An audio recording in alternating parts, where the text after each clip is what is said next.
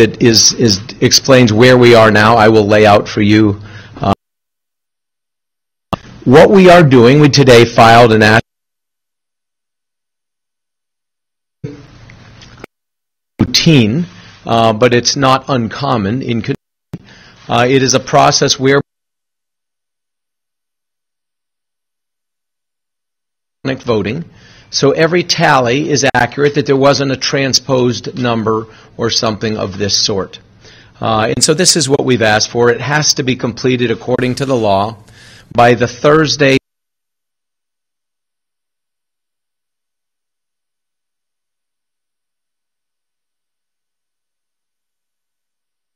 that falls after the election day.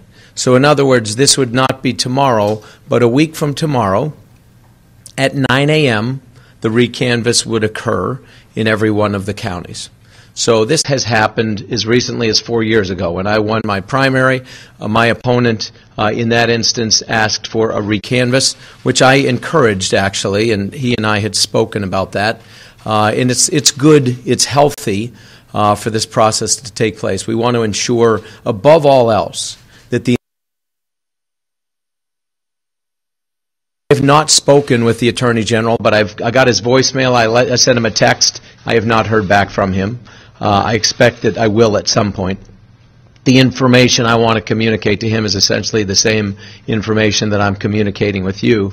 We want this process to move forward expeditiously. We want it to be something that everyone can have confidence in. What we know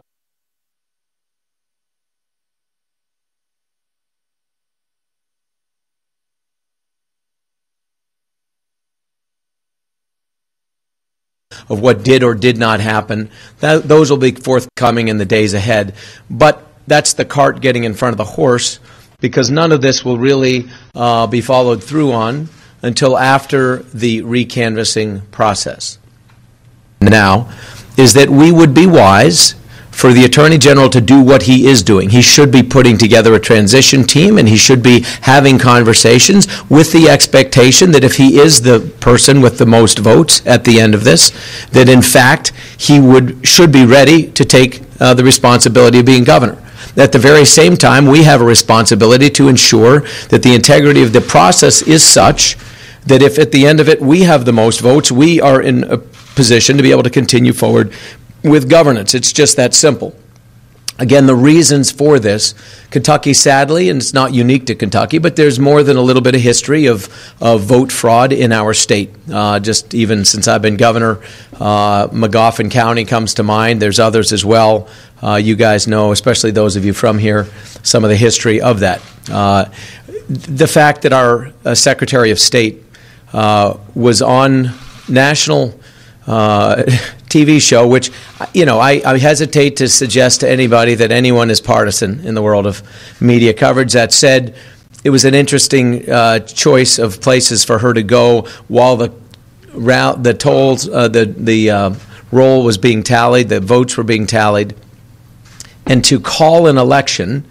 Uh, and this is from a woman who, with all due respect to her, is not exactly rock solid as it comes to following the letter of the law. She's currently under investigation uh, for misuse of voter files herself. Her father has already been convicted of multiple, I think, 10 different federal uh, charges related to election fraud specific to her race. He's going to be uh, sentenced and uh, probably spend significant portions of, if not the rest of his life, in prison. Uh, so this is a family and an office that's been very corrupt. The state police have already raided that office, taken uh, files out of there uh, in recent months. So for her to try to jump the gun on this and interject herself into this, a little suspect as well. We know there have been thousands of, of uh, absentee ballots that were illegally counted. That's, that is known, uh, and this again is something that's being looked into. Uh, we know that there are reports of people having been turned away, uh, incorrectly turned away from various uh, voting booths around the state. Again, things that need to be corroborated and looked into. Uh, these are some of the things that we're in the process of determining. We know that in Jefferson County, there were a number of machines that did not work properly. So ballots were taken and just put in open boxes, and people were told they'd be scanned in later. They may have been. They may not have been. We, we truly don't know. But it's not typical that people would be asked to give a ballot that's supposed to be kept in confidence and scanned into a machine and just, just put it in a box. And this happened in multiple locations. All of this to say that we simply want to ensure that there is integrity in the process. We owe this to the people of Kentucky. I love this state. I love this country.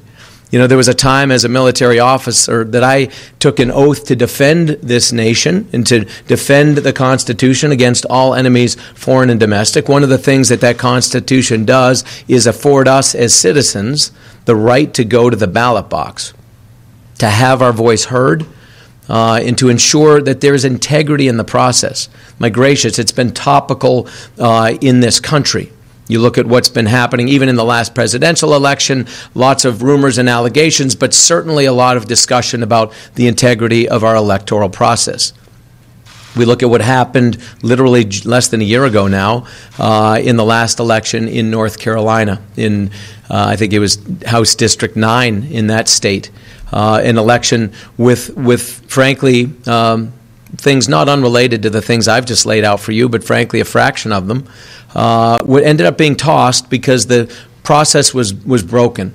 There it was 900 and some odd votes, and there were two or three or four corroborated instances of things not being done right. And so ultimately, decisions were made to basically relook at that entire process. What will happen here? There's a methodology to this. But I just want you to know that the reason we're doing this, we want the people of Kentucky to have absolute confidence that their votes were counted as they should have been counted, that the law was followed, and that regardless of whether they vote this side of the aisle or that side of the aisle, that they can always have confidence that the electoral process works. This is what I want. This is what I want for my kids and grandkids. It's what I want for the next governor, whether it's myself or the attorney general. The bottom line is someone's going to be the next governor, and everyone, that governor, every legislator, every other state constitutional officer wants to be sure that there's integrity in the process. So, with that said, I wanted you to be aware of where we stand. Again, I encourage these are not mutually exclusive things.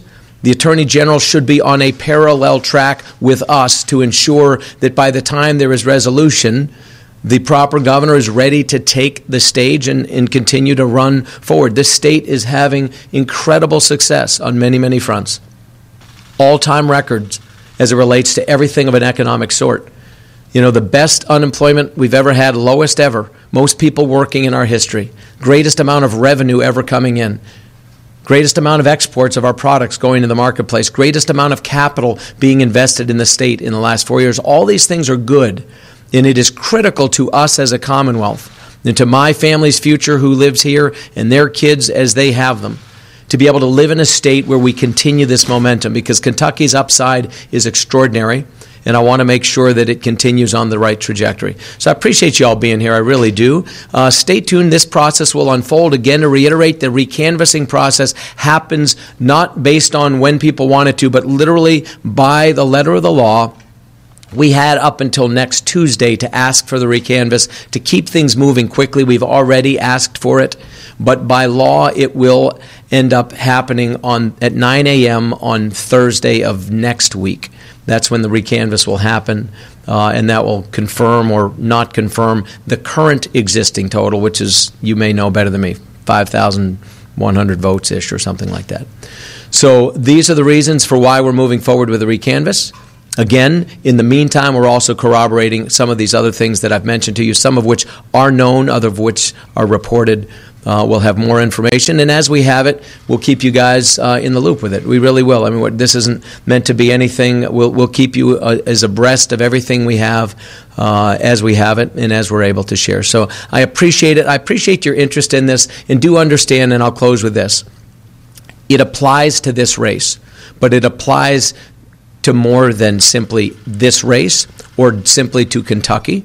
This is critical, especially as we move more and more into an electronic day and age, and as the old and the new are melded together. This is an American uh, issue. It really is and a concern, and we've seen it come up time and again. This unfortunately happens to be a time when it's on the radar screen in Kentucky, but we'll get to the bottom of it.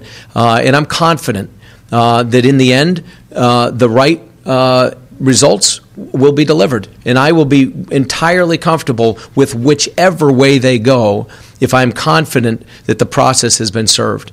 That's really all I want. It's what I want from government is good government. It's what all of us should want. Thank you all very much. I appreciate it, guys. Thank you, guys. Appreciate it.